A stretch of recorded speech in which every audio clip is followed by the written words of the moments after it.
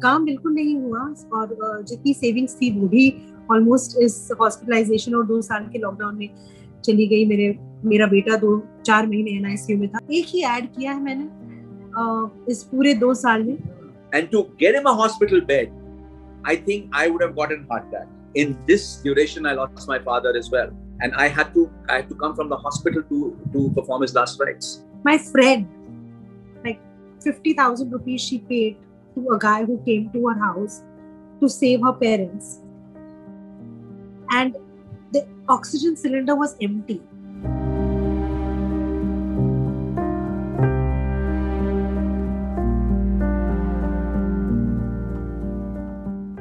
Hi Vandana, welcome to the Quint. Hi Veera, thanks for having me over.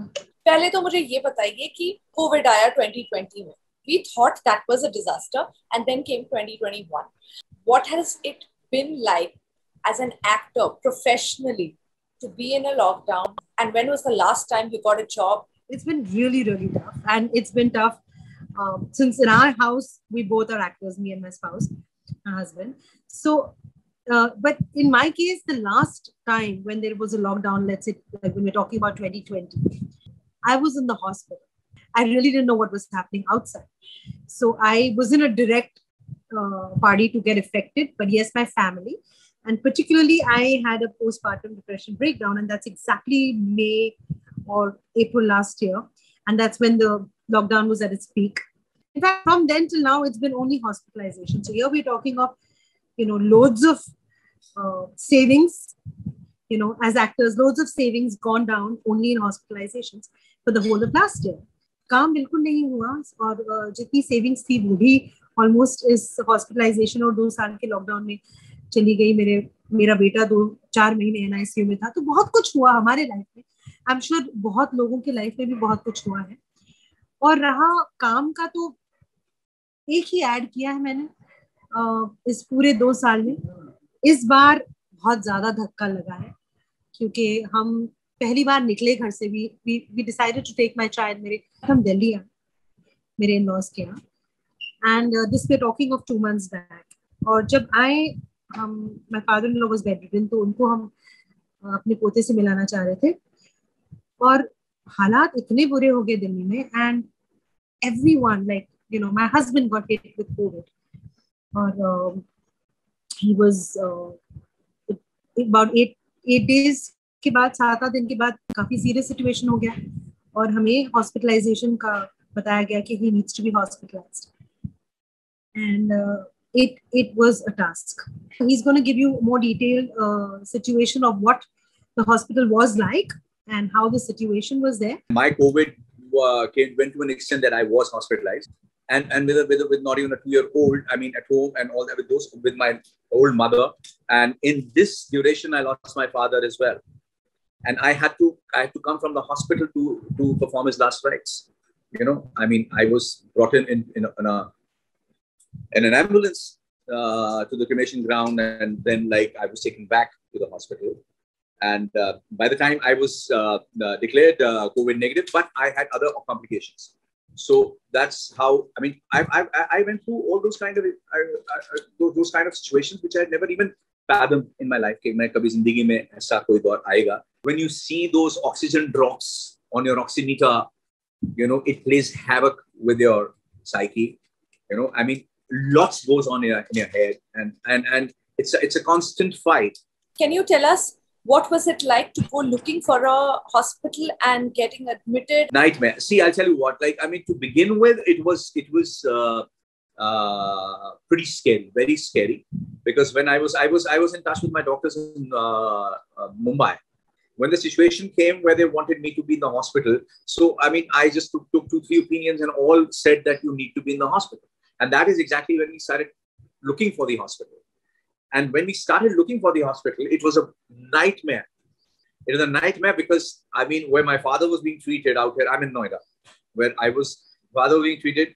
I, for, for years, my father had been treated out there in that hospital. We went out there, obviously overcrowded, no beds, emergency packed you know, they they had once once I went out there to get myself checked, they did not even have a chair for me to sit and for them to examine me.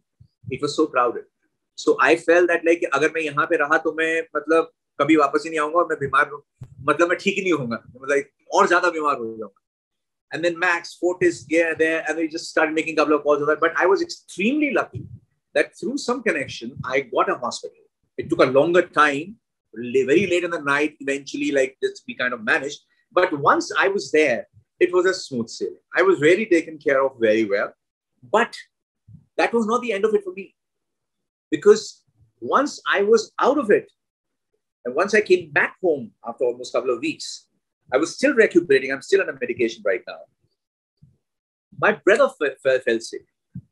And to get him a hospital bed, I think I would have gotten heart attack because I was so anxious because his oxygen was dropping. And it was a 36 hour ordeal.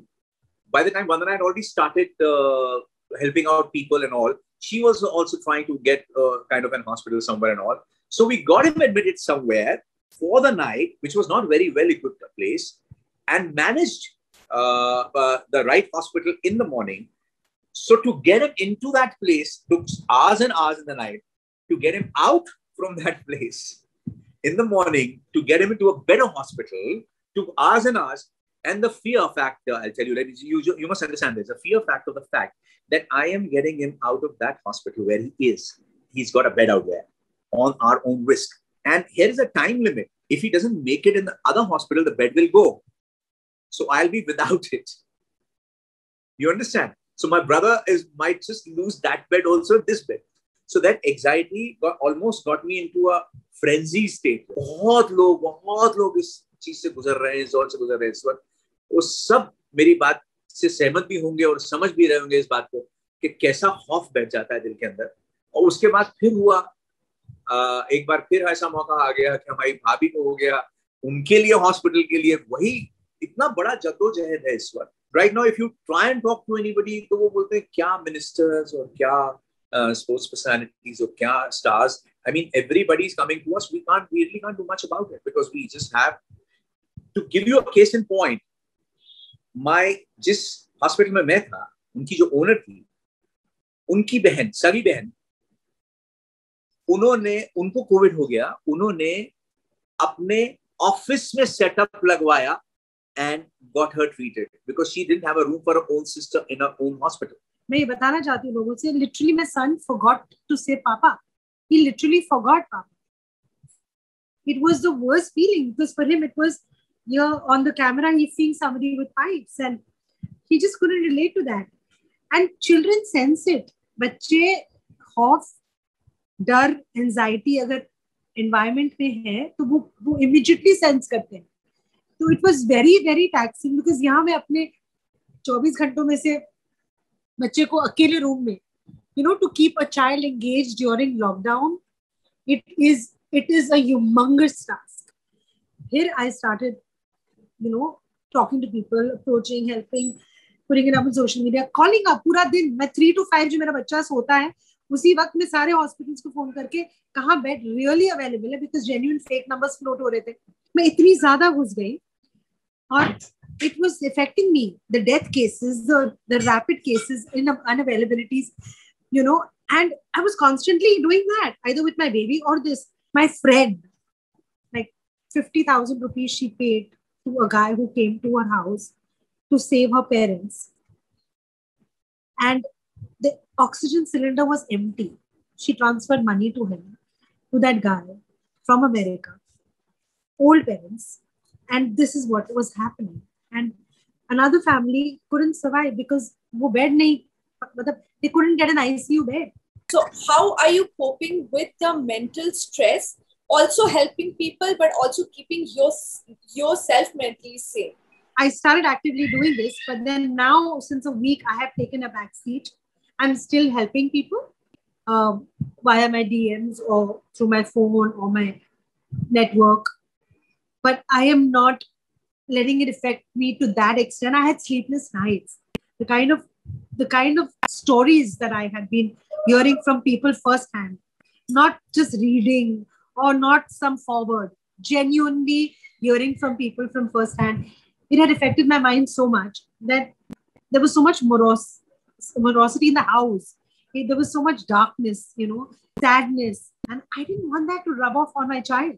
So I started doing fun stuff with him. I started, you know, making videos. I started teaching him a lot of stuff. But I'm nevertheless, I'm available. I'm there to the best I can do. Thank you so much, Vandana. Thank you for talking to us and sharing your story. Thank you. Thank you.